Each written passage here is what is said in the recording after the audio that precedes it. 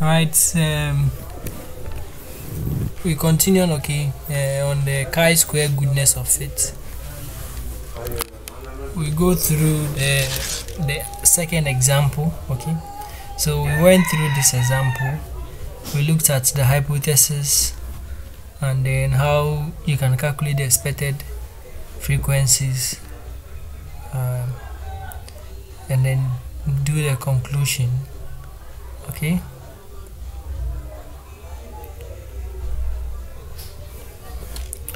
so this is the second question.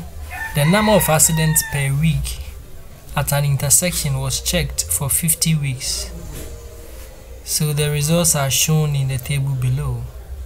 Okay so test the hypothesis that y here y is the number of accidents has a Poisson distribution at alpha equal to 0 0.10 okay so it's like there somebody sat down collected this data okay? So a number of weeks so we found out that 8 28 weeks it, it took 50 weeks and then he sat uh, probably at the roadside or maybe checking the accident happening or getting the information from somewhere okay? He can be observing it himself or getting the information from somewhere so out of the 50 weeks he found out that 28 weeks 28 weeks no accident was recorded. 12 weeks one accident and then 8 weeks only two accident. 3 or more 3 or more accidents were recorded in 2 weeks. Okay. And then they're asking that he should test whether the number of accident number of accident can be modeled by a Poisson distribution at alpha 0.10 okay? So look at how the chi-square goodness of its uh, data look like. So if you are doing chi-square goodness of fit the data you should be presented with should look like this okay? It should have some random variable and its frequency okay? Frequency that is the number of times it is appearing. Or that particular zero is appearing how many times? 28 weeks. So zero accident in 28 weeks. So all the time to look at chi-square goodness of fit eh, to look at chi-square goodness of fit chi-square goodness of fit you should be able to right? So you want to look at this chi-square goodness of fit you should be able to look at uh, this kind of data see this kind of data and then you can easily go about it okay? All right so now the first thing in any uh, hypothesis test is to write out the hypothesis okay? The alternative and the null hypothesis. So he says the null and the alternative hypothesis are okay? What are they says that the number of accidents per week y follows the Poisson distribution. I remember I gave some tests and then I said uh, what's the null hypothesis for chi-square goodness of fit and then I didn't bring this one right? I, I brought this one as the null hypothesis some of you choose this. Why the cannot be modeled by the specified distribution that's not it okay? So if you say that the number of accidents per weeks y follows the Poisson distribution what we are saying is that the the distribution for the number or the frequencies observed okay observed during the person's experiment is the same as the frequency the person will observe under Poisson distribution which is the same as saying that the number of accidents per week y follows the Poisson distribution. So take note okay? Take note of that. They are the same. So I use that to to see how you understand. So that is that. Check that one out. Right so now uh, remember the first example we solved there wasn't any specified distribution but we knew that um, uh, the expected probabilities were just equal throughout. 1 over 6 1 over 6 throughout. But it happens that you are saying it's a Poisson distribution okay? You are saying that it's a Poisson distribution. Are saying that it's a Poisson distribution. So now if it is a Poisson distribution we already have our observed frequencies fi's which is in the table but we will need our ei's okay? We will need our ei's so how do you get the ei's you know per the formula. We said ei is what? N times p isn't it? N times p or p let me write pi so it means that we have to look for the probability of having zero accident using a Poisson distribution probability of having one accident two accidents three or more accidents okay? Then multiply by n the number of weeks okay the number of weeks and then we'll be able to get our uh, EIs okay? EIs so that is why you have to be able to remember the Poisson distribution because you're going to use this to calculate the probabilities. All right so we believe that here you want to compare your data you have a certain data here. Let's say this is uh, x and there's this data which is Poisson okay? This is Poisson. So you want to compare that this is this data this data you have here same as this data here okay? That means that the frequencies you get here the frequencies you get here should be the same as the frequencies we are getting here okay? We'll be getting here all right so the fi's are with the experiment. So the person's experiment will give you these frequencies. And now you are trying to find a distribution for it. You said Poisson so in that case what are the uh, frequencies that we will get if indeed it is Poisson and we are trying to compare. All right so the null hypothesis is saying that yeah the distribution of these frequencies the observed frequencies is the same as the distribution of the observed frequencies which is the same as writing this. Okay? So take note. So you will need this one to find these EIs right? Because you need the probabilities. The n is already known. The n the person uh, did the observation for 50 weeks. Okay? So the n is already known.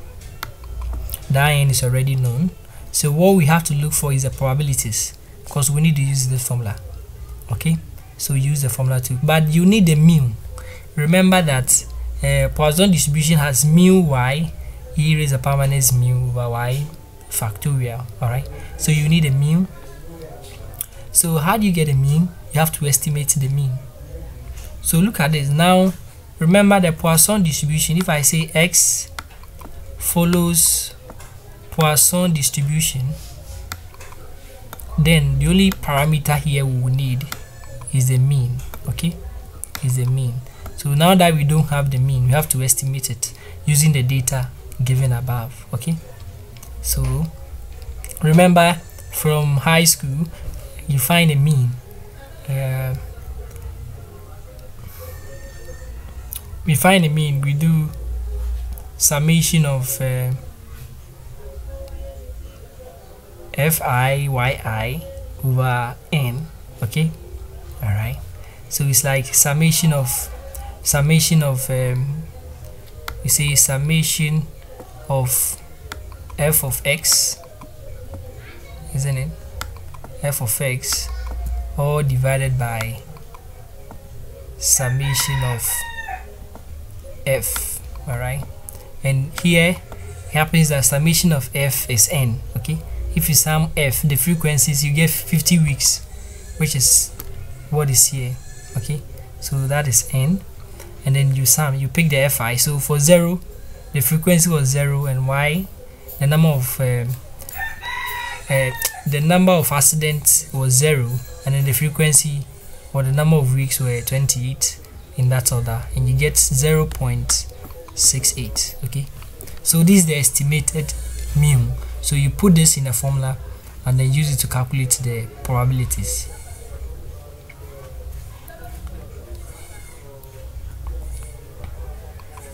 So putting it in a formula you get this. So you want to calculate probability that y is equal to 0 because remember y takes in 0 accident 1 accident 2 or 3 or more. So probability that y is 0 is that. Put it put a 0 in place of y and get a value probability that y is 1 you put it inside you get a value. Probability that y is a 2 you put 2 inside and get a value. And then the other one you say 3 or more okay? So probability that y is greater or equal to 3 and which can be written as 1 minus probability that y is less or equal to 2 which is the same as 1 minus the probability that x y is equal to 0 plus probability y is equal to 1 plus probability y equal to what? 2 which has been calculated already so you substitute and subtract from 1 you get this okay? So now you have your probabilities. So you draw your table you draw a table and then you have this uh, 0 1 2 3 or more okay? And your frequencies 28 12 8 and 2 okay?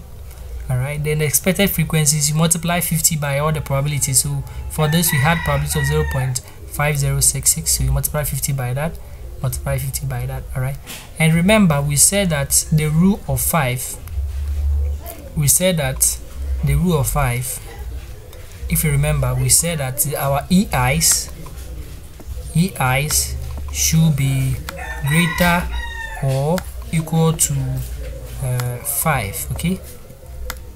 So it happened that there is this value which is one of the EIs for 2 and it's 1.59 it's nowhere equal to 5 so in that case you add up to this okay? You add that value to this to get 7.445 uh, and then with 5 you have done this to this you come and do same you add up this to this you get a 10 so now you are dealing with 1 2 3 data points okay? 1 2 3 data points. So now your FIs your FIs reduced to 3 your FIs reduced to 3 and then your EIs also reduced to 3 okay? So you you use the formula fi minus ei all squared over ei so 28 minus 25.33 all squared over 25.33 okay? When you do everything you sum you get this value okay? So now you have to the test statistics is 2.743 you have to find a critical value okay? Critical value so finding the critical value you alpha value was given as 10 0 0.10 okay? And then uh, you have to find degrees of freedom. So k the treatment already or the categories were for one two three four initially isn't it? But the fact that there is, has been a rule of law and then we have added up this to this. Now the categories has reduced to three okay? So k here is now 3 minus 1 and then c is 1 because remember that the parameter mu was not given in the question okay? Remember that remember that the parameter mu because remember y follows Poisson distribution okay with parameter mu all right and then this mu was not known. It's an unknown parameter. Remember c c is the number of unknown parameter you have to estimate. So we this is the estimation. We estimated it okay? And then we had this value. So estimating it means our c now c now is equal to the 1 because we have estimated uh, some parameter okay? All right so that makes our degrees of freedom to be um, 3 minus 1 minus 1 which is 1 so you are looking for chi squared 0 0.10 degrees of freedom of 1 all right so let's look at the chi-square table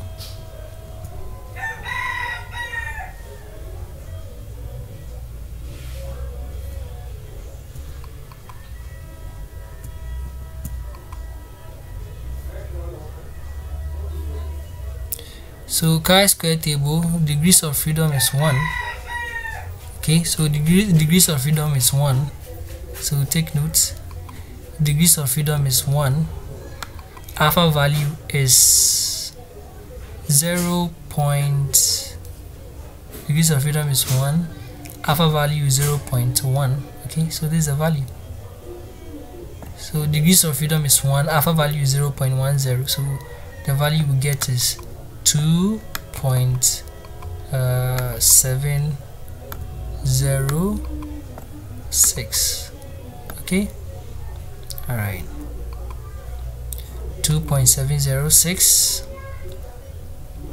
I think that's the value here when you approximate 2.706 right so now you have to redo the rejection rule. You have to do the rejection rule and then you should know it. Okay this is the chi-squared we said that the rejection rule chi squared should be greater or equal to I asked this question and chi-squared alpha uh, degrees of freedom okay? Degrees of freedom. So this is the chi-squared degrees of freedom and then this is a chi-squared so you compare this this and this. This is greater than this. Yes. So it's greater this is greater than that. So you reject the null hypothesis. So the null hypothesis is rejected since chi squared is greater than this value. And now you conclude that uh, your weekly occurrence of accident intersection do not appear to follow a Poisson distribution. Okay? Because now you have rejected your null hypothesis which states that your data follows a, a Poisson distribution and so now you go in for the alternative hypothesis which states that it doesn't follow Poisson distribution okay? So I think this is the last example we'll solve in this uh, uh, course all right uh, this question or this topic okay? So make sure you go through this one. This is no binomial distribution okay? Binomial distribution you can ask any question you want binomial distribution. So this one is also done. Go through. And then there is another one which is normal distribution. Okay we'll, we'll look for some time and then treat this one too. Okay? All right so bye